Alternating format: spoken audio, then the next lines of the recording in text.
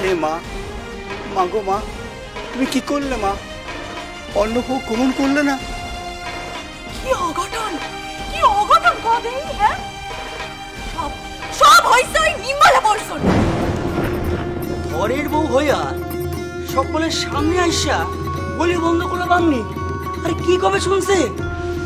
সে রক্ত খেকো কালীর পূজাতে নাকি বলি বন্ধ হয়। হ্যাঁ? আরে মা কালীর মুখের গেরাস কাইরে নিছে বামনি। আর তাই তো মা ওর হাতের অন্নভোগ নিলেন না।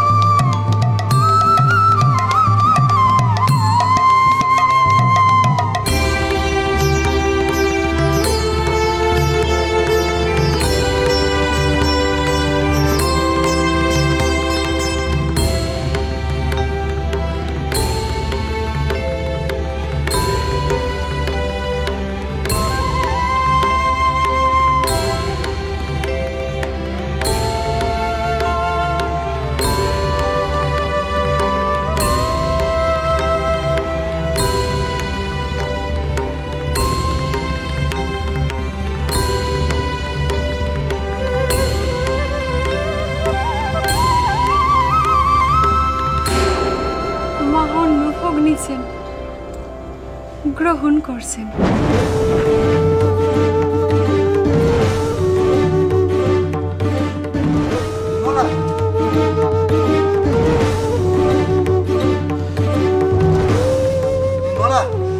আমি অন্নভোগের রেখা ধুয়ে আনছি।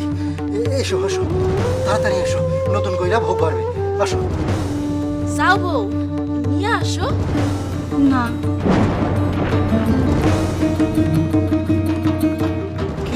অন্নভোগ পারবা না? মা অন্নভোগ গ্রহণ করছেন বলে না।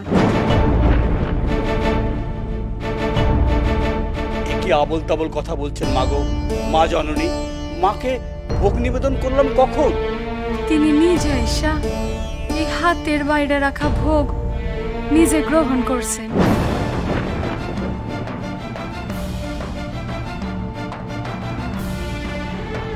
মলার পাগলামি। আমার মাথা সারা দিয়া উঠছে। আবার সামলাইতে হইব। নির্মলা কথা কইয়া সময় নষ্ট করো না। আসো আসো আসো ভোগবার আসো আসো। ব্যাপারটা কি কোন দেখি? ঘটক মশাই বললেন ভোগ অশুদ্ধ হয়েছে। আপনি নিয়ে এসে বলছেন নতুন করে ভোগ কাটতে। ব্যাপারটা কি? ঠাকুর মশাই আমি যখন ভোগের জন্য ভোগ ঘরে গেলাম তখন গিয়া দেখি কেউ যেন ওই ভোগের থালা থেকে একটু একটু কইরা তুইলা রয়েছে এই এই তো এই তো, ঘটক মশাই, দেখছেন, ঘটক মশাই, কোন কোন? কেন এমন হলো? খুঁজতে গিয়ে দেখি একখান কালা কুকুর মুখ সারতে সারতে পার হইয়া যাচ্ছে। এখন আমি আবার ভোগ বাইরে আনছি। কোথায়? কোথায়? নিয়ে আসুন। আমি নিজের হাতে মায়ের পায়ে ছুঁয়ে সেই ভোগ প্রসাদ গ্রহণ করব। সে শুধু ভোগ প্রসাদ নয়, মহাপ্রসাদ। কোথায়? কোথায়? কোথায় সেই মহাপ্রসাদের থালা আমি নিজে তা মাথায় করে নিয়ে আসব। শ্রী শ্রী আনন্দময়ী। সোম থেকে শনি সন্ধ্যে সাড়ে ছটায়, আকাশ আটে।